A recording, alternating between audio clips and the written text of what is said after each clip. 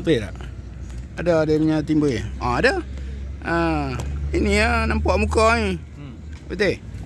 Dia, dia soalan dia ringkas tu ya. Kita kata kita cerita ringkas lah, cerita panjang panjang cerita tak habis. Ha. Tapi ringkas dia maksud dia isu dia tu uh, kita kata merujuk kepada macam dia dakwa tu maksud dia rujuk kepada perbuatan ke perbuatan ke orang apa?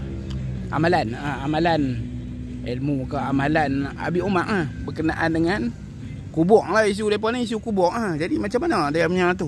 Orang orang Yaman lah kita kata geng Habib ke dia masalah kubur lah depa faham macam mana? Berdoa dengan kubur. Eh, tak tahulah nak sebut dia doa ke pergi kubur ke acara di kubur ke dan apa-apa yang bersangkut dengan kubur jadi macam mana dia orang pegang tu adakah sampai ke jadi boleh kata uh, menyalahi lah menyalahi agama ke apa tu ha, isu dia tu macam mana kalau sensitif ke soalan tu kalau pandangan salafi memang out lah. ha, dia out di situ Kalau salafi lah. Kalau, Hmm. kalau Tak- sufi. kalau dia sufi tak dia tak ada masalah no maknanya tak ada lah isu apa nama kubur dia, dia sebut contoh tu di Yaman kubur Nabi Hud kan Hmm. Ah ha, itu eh, kubur Nabi Hud tu. Ritual lah dia kira kira ritual dia di situ uh, bagi supi apa dia punya apa punya relevan dia lah apa keperluan dia tu ke apa yang dia di Dia Ya. tawasul lah. ha isu dia bertawasul lah. Hmm. Oh. Tawasul dengan wali-wali tu bagi dia Hmm. satu kaedah mendekatkan diri kepada Allah. Oh. Tapi kalau salafi tak boleh. Ah dia dekat situ lah isu dia isu apa pertentangan dia tu isu tu lah kan. Betul. Isu memang isu dia mata-mata tawasul dia ke? Memang isu tawasul lah kan. Maknanya nak kena pergilah ikut Habib ke apa geng tu dia punya tawasul macam mana dia punya Ha, pegangan dia pula kan. Tawasul ni Kalau- ah. amal soleh dengan Mhm. nama Allah boleh ya. Mhm. Dengan ahli kubur walaupun wali tak boleh. Oh gitu. Kalau sufi boleh saja. Bahkan dianggap yang terbaik. Hmm. Itu beza dia. Oh dia letak dia beza dia dekat situ tu. Jadi isu ni dah ribu tahun. Ah betul ya. Isu ribu, ribu isu ribu tahun lah. Dia maksudnya dia tak ada jalan jalan tengah dia ke ataupun penyelesaian bagi ni tak ada nah. Apa apa? Sufi Tak. ni. Macam usaha macam depa buat ah, dengan Syiah dengan Sunnah nak takrib apa tak ada ah, tak ada. Memang tak boleh. Memang tak boleh ha. Hmm.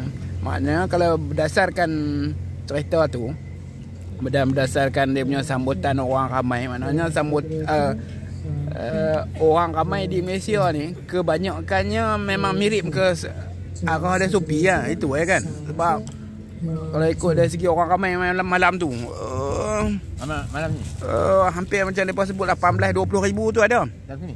Masjid Putera Oh, ya. memang penuh di dalam melimp- ketat di dalam dan melimpah keluar mana tu memang ramai betul lah ada. Ha? Ada. Dan satu lagi dia punya apa? Orang-orang ramai tu dari seluruh Malaysia lah yang saya nampak lah. Tanya macam kata lewat sampai. Ada banyak bas kot. Yang orang Ah dengan bas pun ada dengan kereta sendiri pun banyak sebab subuh tu subuh esok tu dekat masjid masjid negara tu nampak penuh. Banyak negara banyak utara. Masjid Putera pula. Eh masjid negara pula pagi tu subuh. Oh, ada. Habis penuh juga habis. Ah tu lah satu dalam celah tu sehari sebelum tu ada ni geng-geng kita kata geng sopi lah kot. Eh geng sopi geng salapi lah kan. Dia sebut kat saya saya kata program ada kat sini PM ramai. Ah itu terus dia bantai eh. dia bantai pancung saya. Dia kira ini apa program bid'ah. Ah asyik dia gitulah.